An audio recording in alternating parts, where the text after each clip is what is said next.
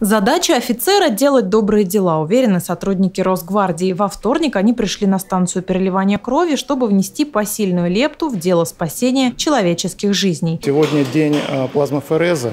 А, процедура достаточно длительная, и пришлось ограничить число желающих. Желающих очень много.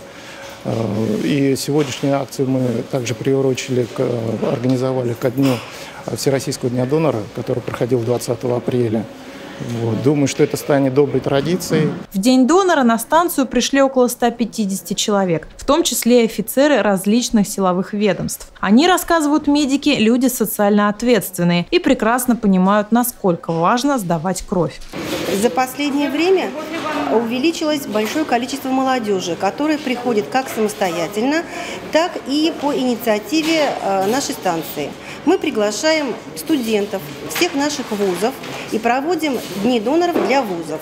Кроме этого, у нас есть эм, молодежная организация «Молодая кровь», который также ежемесячно проводит такие акции. Из плазмы, которую аппаратным методом сдают сотрудники Росгвардии, будут изготовлены препараты. Также ее используют для лечебных целей. Ежедневно на станции принимают 30-40 литров плазмы. В праздничные дни раза в три больше. Решили собрать, помочь людям, которые нуждаются в крови, которые попали в сложную жизненную ситуацию, э, которых требуется плазма, кровь.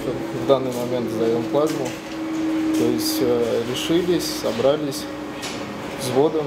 Никого из офицеров не обязывали, все пришли добровольно. Медики, чтобы не создавать очередей, разрешили сдать кровь только 20 офицерам. Остальные желающие придут в другое время. Тропа из сотрудников Росгвардии на станцию переливания не прервется еще пару недель. Мария Смирнова, Антон Осипов, РТВ Иванова.